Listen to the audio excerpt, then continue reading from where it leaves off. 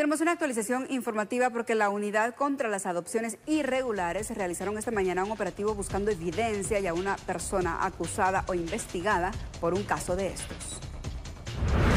La unidad de adopciones irregulares de la Fiscalía contra la Trata de Personas realizó una serie de allanamientos en el municipio de Villanueva. Inspeccionaron inmuebles para ejecutar orden de captura contra una persona vinculada en adopciones irregulares. Hasta el momento, el resultado ha sido positivo.